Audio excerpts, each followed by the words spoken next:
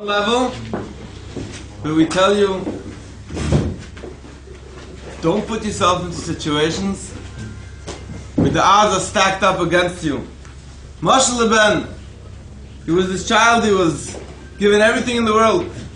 He was well fed, his father clothed him, he gave him money, put him on perfume. He was a beautiful looking child and he put him in front of Pesach Beis HaZoynes. Ma yasa ben, Shelo what should he do? He's stuck.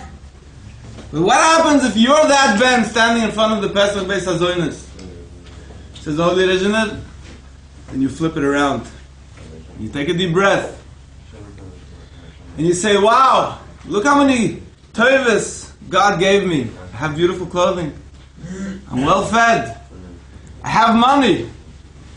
I smell beautiful. I'm beautiful. Ma yasa ben. You know what obligation I have as a son? Shlo yechte. I'm not gonna say. Beautiful, beautiful.